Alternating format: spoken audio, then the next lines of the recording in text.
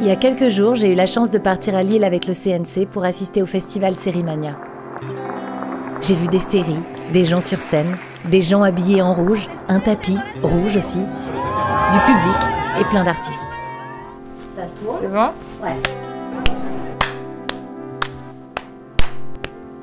Je leur ai demandé de me raconter l'histoire d'une phrase qui avait changé leur vie. Voici la première partie.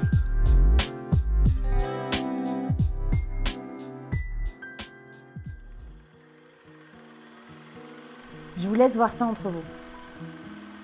Alors cette phrase, qui veut rien dire comme ça euh, si c'est pas dans un contexte, euh, a failli me coûter euh, très très cher. C'était en fait, je suis tombée enceinte en 2013 et je vais chez mon gynéco et avec mon copain.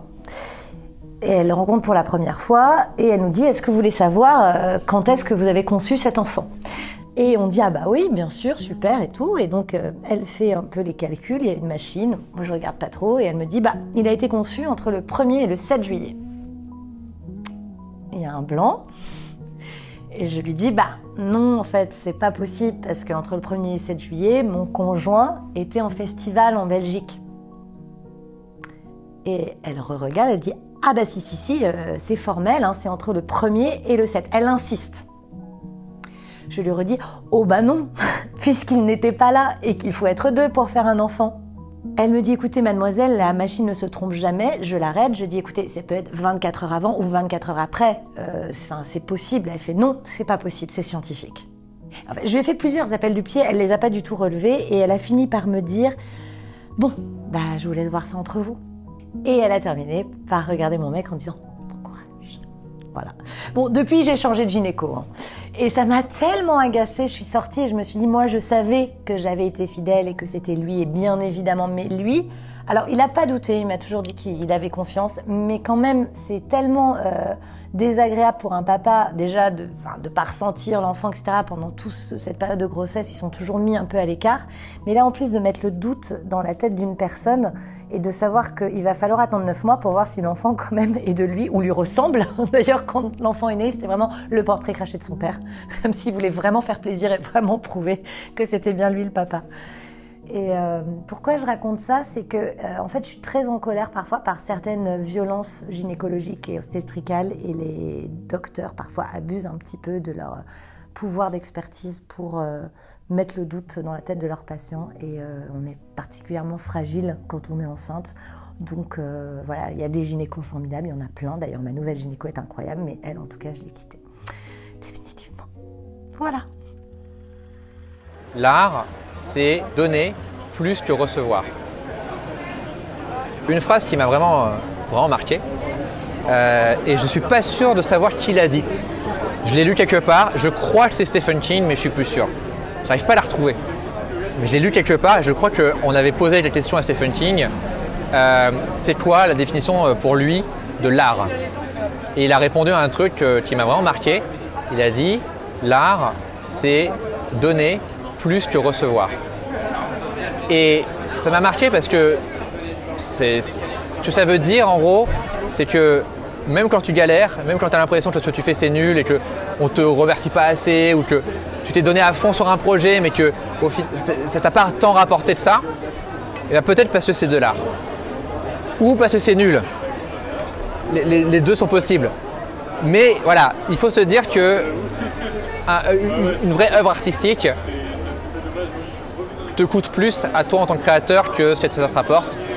Euh, et, c'est ce que je me dis souvent quand je galère. Et je me dis, euh, putain, mais vraiment, pourquoi je fais ça? Ah oui, je, suis un artiste. Voilà, donc ça me rassure un petit peu. Ou alors je me mens à moi-même, je sais pas.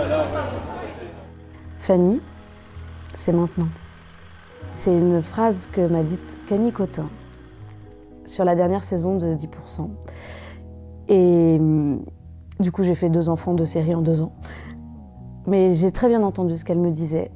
C'était euh, euh, très fort parce que, Camille Cotin, c'est quelqu'un de formidable, bah, qui est complètement euh, un modèle que j'admire énormément, que j'admire quand elle joue à travers le talent qu'elle a.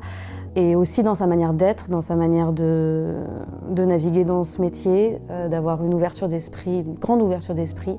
Et je pense qu'il s'est créé euh, pendant le tournage une relation de complicité, évidemment, mais de tendresse aussi, où on se regarde euh, les uns les autres grandir, évidemment. En quatre saisons, il s'en passe des choses. Et là, tout d'un coup, je savais qu'elle avait vu mes endroits euh, de discrétion, de blocage. Euh, je, savais qu'elle avait vu peut-être ce qui me retenait. Et je me suis dit, si elle l'a vu, il faut que j'y aille. Euh, ça a été hyper porteur en fait. C'était un peu une déflagration aussi. Ce qu'elle m'a aussi permis de faire, c'est d'ouvrir d'ouvrir une ambition et de me dire, mais peut-être qu'aussi elle voit un potentiel. que je ne m'autorise pas à déployer. Et, euh, donc, euh, derrière, j'ai accepté euh, de réaliser huit épisodes de 20 minutes. j'ai enclenché ma série, j'ai écrit. Et, en fait, c'est maintenant. Il voulait dire aussi saisis ta chance. Et en même temps, il y avait cette chose-là de laisse pas passer cette chance. Et en même temps, c'est aussi comme si, pour moi, c'était toujours maintenant. il faut toujours que ça soit maintenant. Euh, il faut penser ces métiers-là, c'est-à-dire euh, au présent, euh, les vivre et les faire. Et... Parce qu'en fait, c'est en forgeant qu'on devient des chevalières. Commencez à changer en vous ce que vous voulez voir changer chez les autres. Alors, je pense à une phrase de Gandhi qui dit commencez par changer en vous ce que vous voulez voir changer chez les autres ou autour de vous. Et en fait, euh, je pense à cette phrase, non pas parce que c'est cette phrase qui m'a marquée, mais c'est parce que c'est ce qu'a fait euh, mon mari avec moi et c'est ce qui fait que notre relation, elle fonctionne aussi bien et c'est ce que j'essaye maintenant de faire aussi. Et c'est la première relation avec euh, laquelle enfin, pour laquelle j'essaye vraiment d'adapter cet adage-là. Et en fait, quand mon mari avait un problème avec moi et qu'il était agacé par un de mes défauts ou qu'il y avait des choses qui, oui, qui, qui, supportait pas. Son réflexe, c'était pas de me le reprocher, c'était de s'améliorer lui. Et après, quand on en discutait, il me disait, bah en fait, oui, ça me saoule quand tu fais telle ou telle chose, mais du coup, je me dis comment moi, je peux m'améliorer pour que elle, ait envie de s'améliorer en retour et qu'on arrête en fait l'escalade. Et du coup, depuis que je suis avec lui, j'essaye, c'est super difficile, d'adapter euh, mon, ouais, mon comportement à cet adage-là, quoi. Et c'est une question de responsabilité, en fait. Si tu pars du principe que tu es responsable de ce qui se passe autour de toi et que c'est à toi de changer les choses, ton comportement ne sera plus le même. Et, euh, et du coup, bah, c'est ma plus belle relation euh, grâce à ce genre de petits détails, quoi, qui n'en sont pas, évidemment. Le bonheur, c'est d'être satisfait de ce que l'on a. Euh, j'explique euh, cette phrase. En fait, euh, j'ai fait, j'ai 34 ans, on dirait pas, mais j'ai 34 ans. J'ai fait une crise de la trentaine, ou ce qu'on appelle plus communément une crise existentielle, je pense plus. J'étais absolument pas heureux dans ma vie, que ce soit professionnelle ou même sentimentale.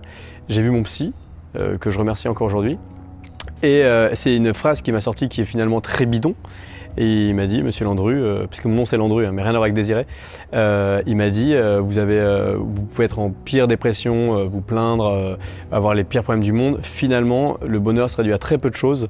Bon, c'est différent pour tout le monde, mais c'est d'être satisfait de ce que l'on a. Donc en vrai, à partir du moment où j'ai des parents, des amis, ou même là, par exemple, le bonheur, c'est littéralement un hot dog et un champagne. Une coupe de champagne, bah, c'est le bonheur pour moi. Donc voilà, c'est très cliché comme phrase, mais euh, en vrai, quand je vais pas bien et que j'ai coup de blues parfois, bizarrement, je me, remémore cette phrase et c'est suffisant pour me dire bon, vas-y, euh, hop, on avance. Merci beaucoup, c'était Camille. Excellente journée